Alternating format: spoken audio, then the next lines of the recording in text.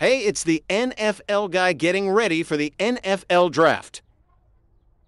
What's up, everybody? Well, I'm the NFL guy once football season starts. I love talking about NFL and talking about the Chicago Bears, my team that I've been a fan since 86. So, almost ready for that number one pick for Caleb Williams. And I'm rocking my Justin Fields jersey because I love Justin Fields. I just wish he was still with my Bears. And I've been talking crap about Caleb Williams for the last few months. I know a lot of NFL fans on TikTok's been talking a lot of crap about Caleb Williams, saying that, you know, this is the wrong pick for Chicago.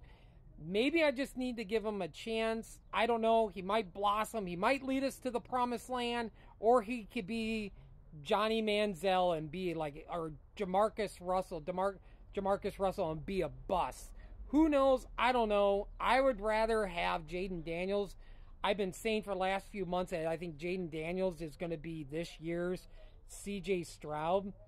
Uh, I would love to see Marvin Harrison drop to number nine to us. We would literally have the best triple dual wide receiver in the NFL with DJ Moore, Keenan Allen, and Marvin Harrison Jr. But I think he's going to go before that.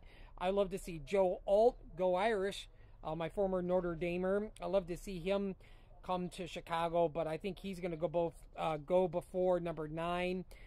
I think the Chargers are going to be trading down because I think Jim Harbaugh. I've been hearing, I heard this on the Dan Patrick show um, this morning that they think that the Chargers are going to trade down to get more draft picks. But Marvin Harrison Jr. would be awesome um, in LA. A lot better in Arizona. Arizona's a mess.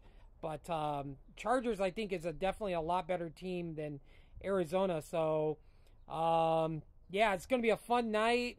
Uh, I'm sure there's going to be some surprise picks at uh, players that go early. There might be players that going to fall way down. So I might do a post NFL draft first round video here in a little bit. Um, fortunately, I won't see rounds two and three tomorrow because I work at four and I think it comes on at five.